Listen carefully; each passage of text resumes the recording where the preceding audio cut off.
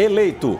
Eleito Luiz Inácio Lula da Silva para o seu terceiro mandato à frente da presidência da República do Brasil.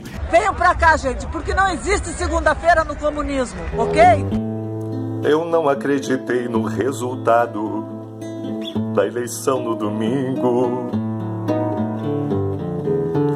E desde então estou aqui paralisado, aguardando meu mito. Não podemos liberar! E nesse desespero em que eu me vejo, já cheguei a tal ponto Não passarão! de me ajoelhar, rezar no asfalto, pra me acalmar um pouco. Você bem que podia enfrentar, chamar uma intervenção militar. Aqui até a polícia tá segurando. Prometo aguentar aqui trancando essa rodovia. E cerceamento do direito de ir e vir.